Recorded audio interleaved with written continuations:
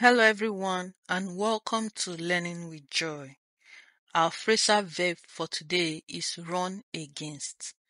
Run against has several meanings depending on the context in which it is being used. Run against means to compete with someone. This means to be in competition or opposition with someone often used in the context of elections or competition. Sentence examples She decided to run against the incumbent governor in the upcoming election. Two talented young chefs are running against each other in the upcoming baking competition. The young athlete ran against the season champion in the final race.